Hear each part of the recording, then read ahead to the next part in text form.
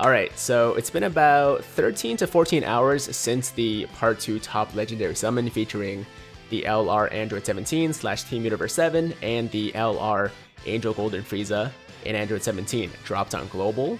And today, as always, we're going to be doing a quick top grossing update by going through the top grossing rankings of various regions or countries around the world to determine whether or not us global players can expect any kind of top grossing rewards and top grossing Dragon Stones over the next couple of days. Okay, so with all that said, let's uh, jump right into it. As you guys can see, we are on the Sensor Tower website and we're filtered by today, July 26th, 2021. And the category is games this time instead of all categories. Now, for those of you that watch these videos regularly, you know that we always go by all categories instead of games because normally Bandai counts top grossing only for all categories, but for some reason it seems like they changed the criteria this time around. If you go back to like the part 1 top grossing, um, it says right here, right?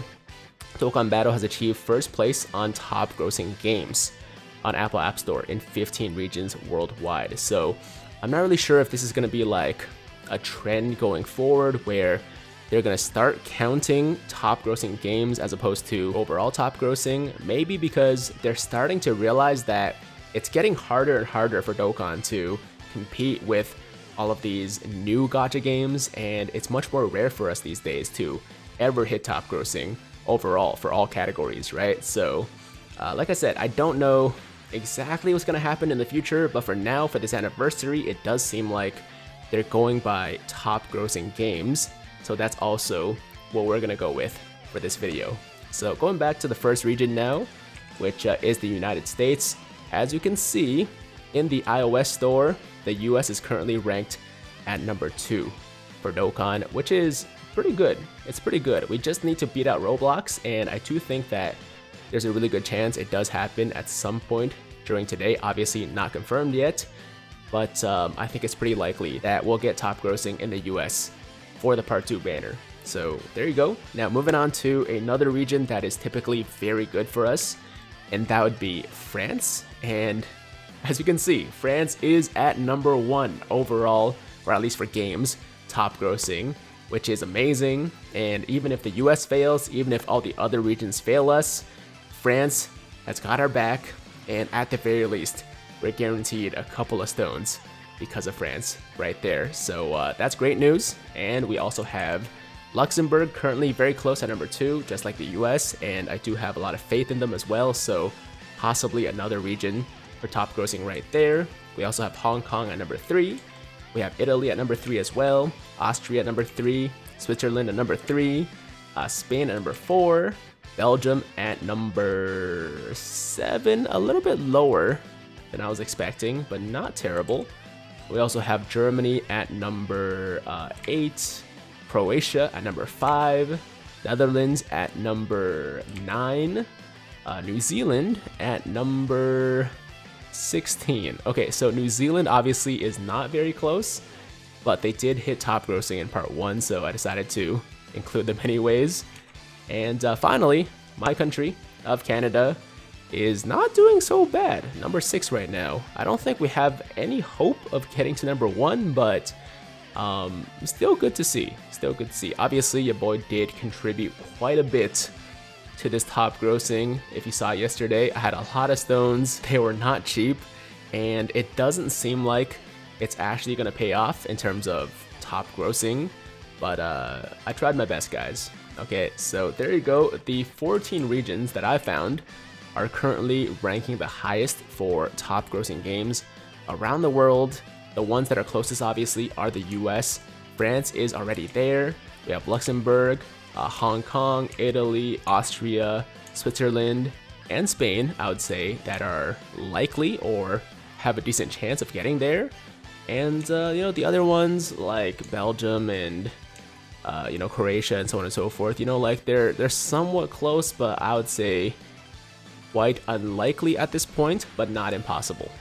Definitely not impossible. So in terms of whether or not we're getting top grossing stones for part 2, the answer is yes, we should definitely be getting some top grossing stones uh, later this week for uh, the part 2 banner, but the question is how many stones are we getting? And I can't really answer that for you at the moment. I mean, if we go by, you know, what we see here, let's say like the rankings just stopped right now, then we only have one region at number one, right? And if we go by part one, where we got seven stones per region, that means we're gonna get seven stones, right?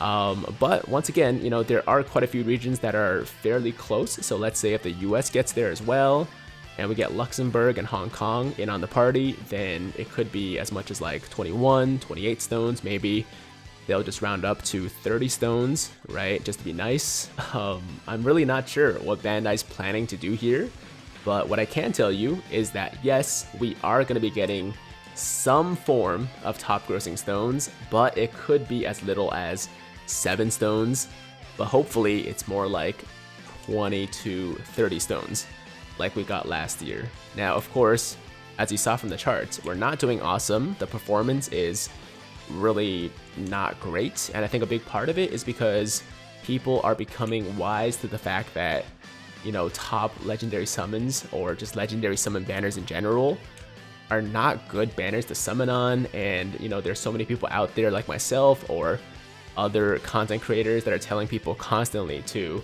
not summon on these banners. So I don't know exactly how big of a part we played in the performance here but I would like to think we had some kind of an impact, and in one sense it's good because we probably saved a lot of people a bunch of stones that they would have wasted on a banner like this, but on the other hand, um, it seems to be resulting in less top grossing stones for us overall, so yeah, not too sure how to feel about it.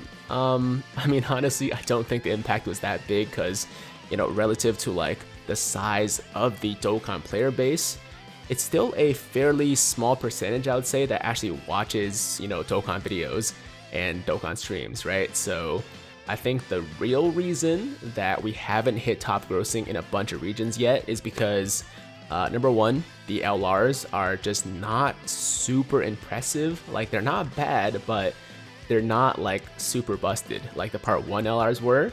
And number two, the rainbow tickets probably also played a part, I would say, right? Because it allows people to do like up to three multis or three and a half multis worth of summons for free. So maybe a lot of people just decided to use their rainbow tickets to summon on the banner instead of using stones, instead of buying stones to summon, right? So uh, obviously I'm just speculating here. I don't know exactly what's going on, but the point is uh, we should be getting some top grossing stones.